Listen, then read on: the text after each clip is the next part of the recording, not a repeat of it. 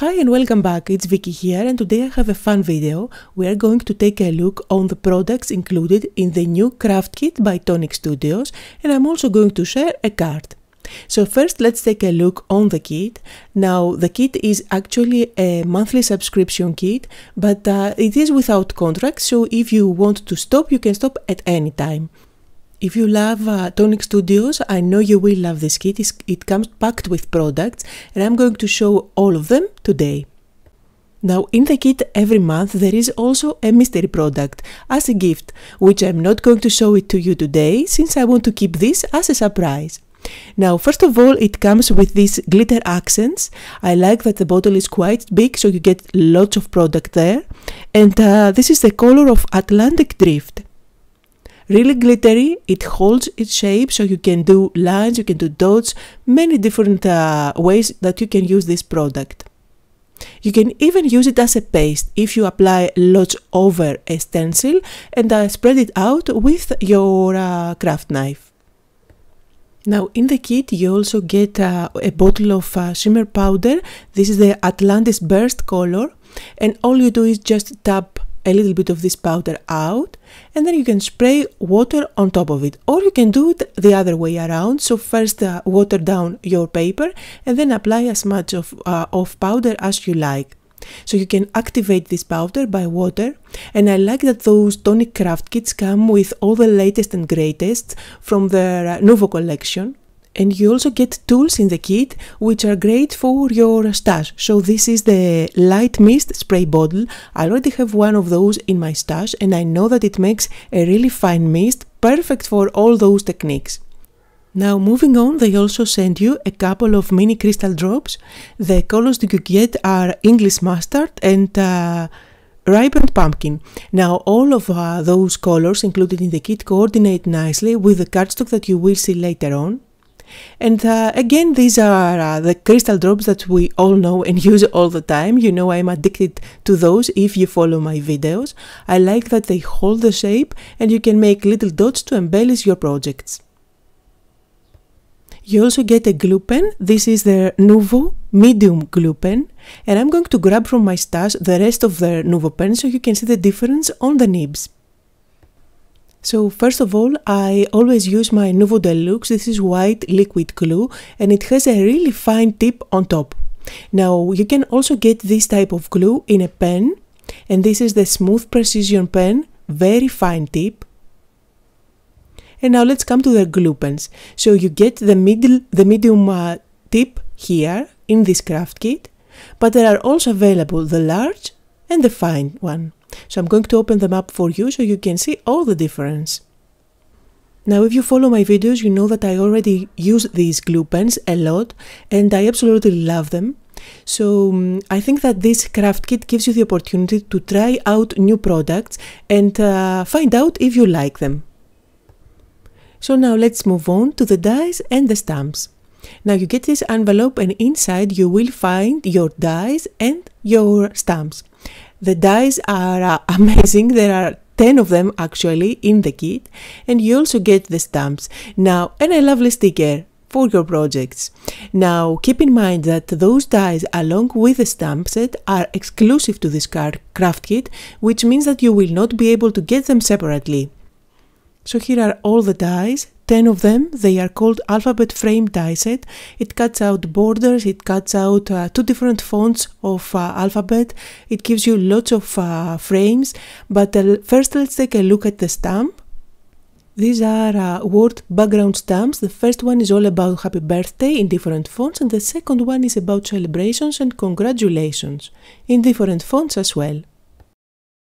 Now let's take a close-up look on the die. So this die is going to cut out a frame and give you the detail of uh, an alphabet all around your project. Now this is not going to cut out outside or the inside of this uh, detail, but there are dies that fit nicely on the outside.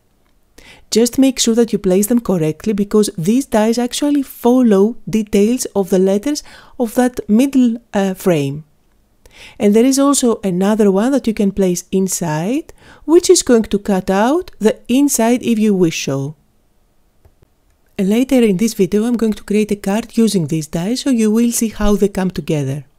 Now there are also little labels such as this one that says handmade by and you can write your name inside and they come in different shapes so you can embellish your projects. Now there are also lovely uh, fishtail banners that you can use on top of your projects and I like that they don't end up to another fishtail which means that you can make them as long as you like. These are actually nested, they can be nested if you wish so and there are three of them now these uh, banners actually have a lovely stitching all around them and I know that these are one of those dies that you will be grabbing again and again since you can uh, use them to stamp your sentiment and add them on pretty much every card.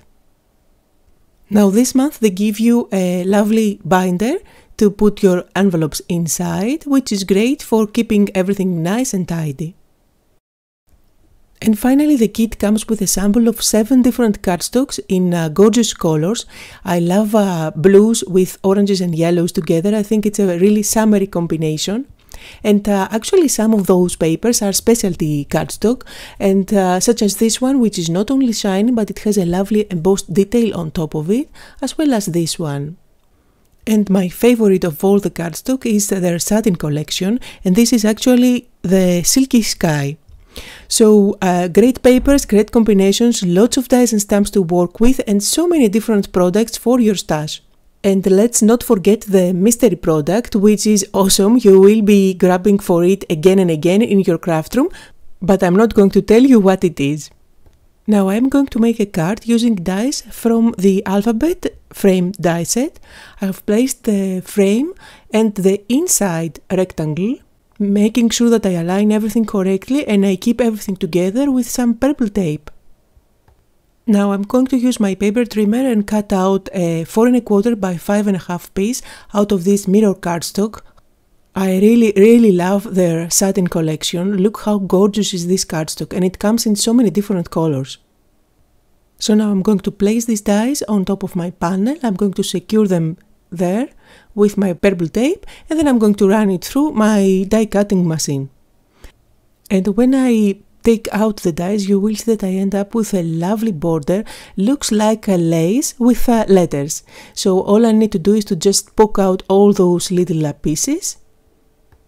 And now I'm using some uh, specialty paper, this is glitter paper, but of course you can use white paper from your stash. I am going to use the inside frame from the dies and I'm going to run it through and uh, I'm actually not going to use the inside of this uh, paper that I'm cutting out but instead I'm going to use the outside and this is going to provide the backing for that border that I have already cut. Now I'm going to use my new glue pen. You need to shake it first and just uh, tap a couple of times on a scrap piece of paper and you will see the glue coming down. It's going to look kind of blue. So now I'm going to apply my glue at the back of my frame and then I'm going to stick it on top of the white cardstock. I made sure that I aligned everything correctly and then I'm going to use my scissors to cut out the excess. Now today I'm going for a really simple design but really striking so I'm going for a shaker card and uh, I'm going to use this transparency. This is actually a product by Tonic Studios and you will find it linked down below.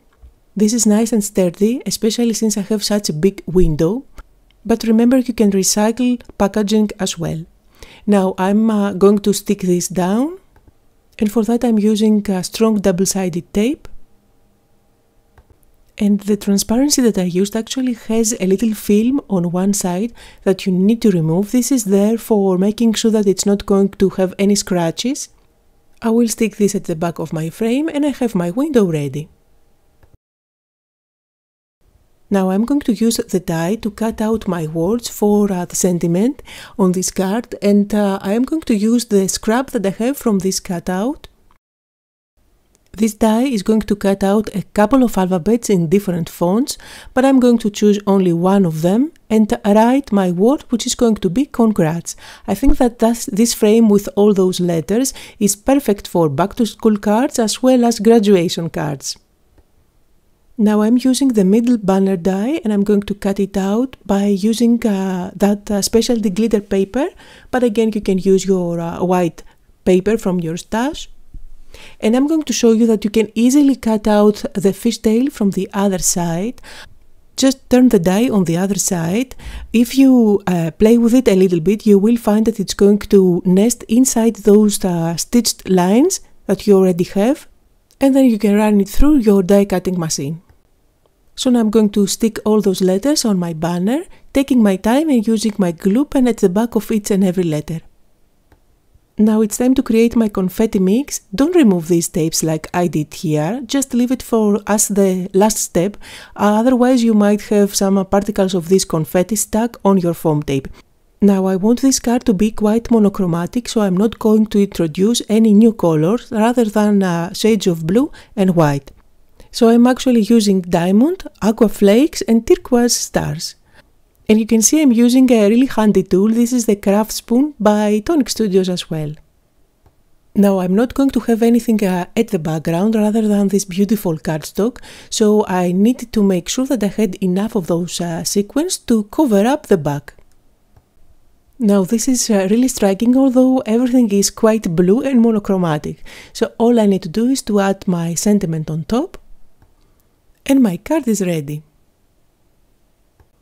And a last tip in terms of storing, I like to use these magnets to place all the dies from the kit on uh, one uh, pocket of my envelope and then on the other pocket I keep my stamps and everything inside the binder.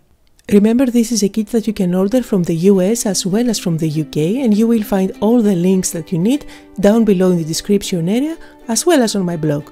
I hope you had fun, that you got inspired. Thank you all so much for watching and I'll see you next time.